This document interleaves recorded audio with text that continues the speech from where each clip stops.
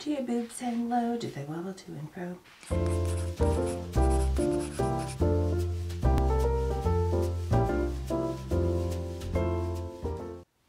Hey makeup friends! Today I'm going to be sharing with you my Kaleidos palette collection and I'm also going to be ranking them. But before we get into it, I want to welcome you back to my channel, or if you are new here, then welcome. My name is Kara, I'm a 40 year old working mother of two, and makeup fills my bucket. It just brings me no end of joy. On my channel, we like to mix beauty, brains, and the occasional F-bomb, so if that sounds like something you're interested in, I invite you to go ahead and subscribe. All right, so I have seven of the Kaleidos palettes. There is just one that I'm missing that they no longer have available. I can't remember what it was called, but it had all um, neon shades in it and it's the one that got away. I do wish that I had that one to round out my collection, but it is what it is. So I have seven of them. I have gone through them and basically the ranking is going to be based on the color story because all of these perform equally as well. Kaleidos is incredibly consistent from palette to palette in terms of how their mattes blend out and the pigmentation, how the shimmers apply. I have not come across a dud shadow from them yet, let alone a dud palette. So although there is obviously going to be one at the top and one at the bottom, that is not to say that the one at the bottom is a bad palette. I am basing this, like I said, pretty much just on color story.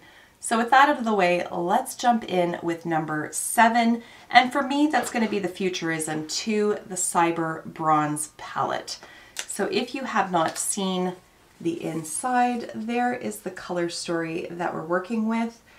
Altogether, not a bad color story, and there are some definite standout shades in here, in particular the silver and the red. These are beautiful foiled shadows, and I'll swatch them on my hand for you. So again, there's really no complaint about the performance aspect of these shadows. I think they are just so nice to work with basically I can tell you right now, if they come out with another palette, I'm most likely going to buy it because I love their quality so much. But with this one, it's just the color story. So while I do like neutral browns, and I like silver, and I like red, I don't necessarily like brown with red, brown with silver. So it just comes down to the versatility of this palette. This is one that I do find I need to bring in other shades in order to make these ones work. I just, I don't know how to pair the silver with these brown tones. It just never ends up looking good on me. But again, and I'm to stop beating this dead horse. This is a good palette. It's just the color story is not my favorite out of the seven that I have. Coming in in sixth place is the Futurism 5 palette. This is the electric turquoise one. And I mean, it's beautiful. Got those beautiful blues, that pop of orange. Again, you have the mix of the metallics and the matte shades in here. And again, these shades are just beautiful to work with. Their mattes are so creamy and smooth and they just blend out so nicely. It doesn't matter if it's a lighter shade or a really dark shade. They're all just fantastic shadows to work with. But I find that this palette it's a little bit of a one-trick pony as far as I'm concerned. There's three of them swatched out. I just don't find that there's a lot of versatility that I can use with this palette. I mean, obviously I can include the orange or I can exclude it depending on the look. I would have liked to have seen this really deep brown be like a really deep blue, and then I think it would have just made it that much more cohesive. But having said that, I love how the orange plays off of the blue, but because I find myself to be a little bit limited by this color story, that is why it's ranking lower in the list. Coming in at sixth place is the Futurism 6 palette. This is the Lunar Lavender palette. It is beautiful.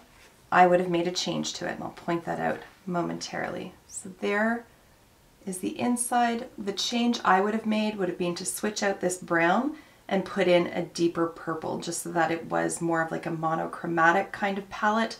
And I think I personally would have had an easier time pairing a deep purple than I do with this brown shade in here. Having said that, at least it is a cooler toned brown. It's not super warm or reddish. It doesn't, you know, clash with these purple colors. But I think for my own preferences, the deeper purple would have just played a little bit nicer with the rest of the shadows. It's not terrible with it, like it, it is completely workable. I just would have preferred a deep purple in there. Stepping away from the six pan palettes, coming in at fourth place for me is the Escape Pod palette. I love how versatile this palette is. So while you do have really fun pops of color, you also have a lot of more neutral options to play with. There's a row of shimmers in here and one extra one down here as well. And these shades are so pretty. These shimmery shadows are a little bit softer than the shimmers that you see in the six pan palettes.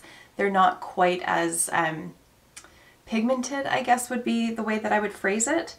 But that's not to say that they are disappointing by any stretch. They are truly not. But what I really like about this palette is that you can completely play up the colorful side of it and really just play with your makeup or you can make a really beautiful neutral look with this as well. And then just throw one of these shimmery shadows on the lid or in the inner corner and just have fun with it. It can still be a very neutral, quote unquote, work appropriate look, but you can still bring that element of color into it. And that's why I really love this palette, especially these two green shimmers. They look in the pan like they're going to be very similar, but once they're swatched out, you can see that they do apply very differently one from the next. I don't think there's a wasted shade in here. There's no overlap.